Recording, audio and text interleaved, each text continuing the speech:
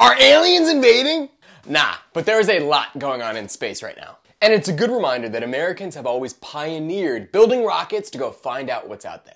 In 1967, America launched the Saturn V rocket, which changed space exploration. It stood at 363 feet tall, taller than the Statue of Liberty, and generated 7.5 million pounds of thrust. This rocket enabled us to go to the moon. Every single Apollo mission from 8 through 17 used the Saturn V rocket. At the height of the Cold War, the Saturn V rocket showed that America, a self-governed republic, a free society, could out-engineer and out-compete any dictatorship. Worth noting that it worked so damn well that not a single astronaut died aboard a Saturn V.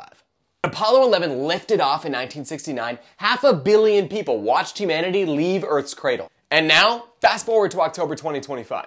Comets are passing by Earth and people are excited. It's the same kind of cosmic wonder that inspired the space race in the first place. That's what made America different. Curiosity instead of fear. Innovation in the face of failure. So don't be afraid of the unknown. Be curious.